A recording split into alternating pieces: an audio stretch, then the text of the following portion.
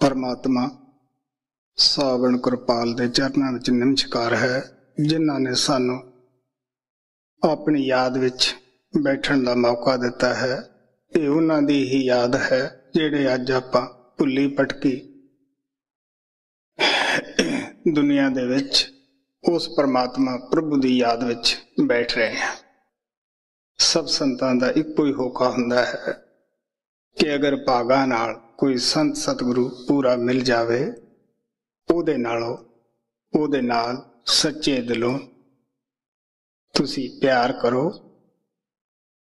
ਦੁਨੀਆ ਦਾ, ਦੁਨੀਆ ਦੇ ਪਦਾਰਥਾਂ ਦਾ ਮੋਹ ਛੱਡ ਦਿਓ, ਮਨ ਇੰਦਰੀਆਂ ਦਾ ਸਾਥ ਛੱਡ ਦਿਓ।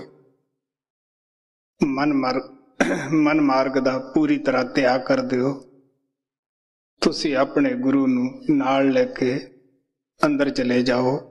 ਉਹ ਅੰਦਰ ਤੁਹਾਡੀ ਸੁਰਤ ਨੂੰ ਸ਼ਬਦ ਦੇ ਨਾਲ ਜੋੜ ਦੇਣਗੇ।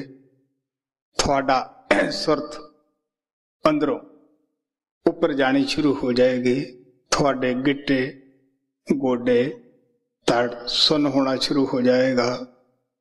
ਤੁਹਾਡੀ ਸਾਰੀ ਚੇਤਨ ਸ਼ਤਿਆ ਜਿਹੜੀ ਹੈ, ਉਹ ਤੀਸਰੇ ਤਿਲ ਵਿੱਚ ਇਕਾਗਰ ਹੋ ਜਾਏਗੀ। ਡਰੋ ਨਹੀਂ।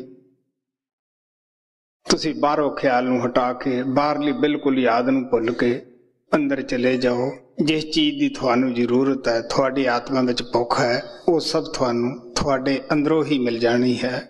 ਅੰਦਰ ਤੁਹਾਡਾ ਉਹ ਪਿਆਰਾ, ਉਹ ਸ਼ਬਦ ਰੂਪ ਗੁਰੂ ਤੁਹਾਡੀ ਇੰਤਜ਼ਾਰ ਵਿੱਚ ਤੁਹਾਡੇ ਨਾਲ ਕਿਤੇ ਵੱਧ ਬੈਠਾ ਹੈ। ਸੋ ਇਸ ਮੌਕੇ ਦਾ ਸਾਨੂੰ ਪੂਰਾ ਫਾਇਦਾ ਉਠਾਉਣਾ ਚਾਹੀਦਾ ਅੱਖਾਂ ਬੰਦ ਕਰਕੇ ਆਪਣਾ ਸਿਮਰਨ ਸ਼ੁਰੂ ਕਰੋ।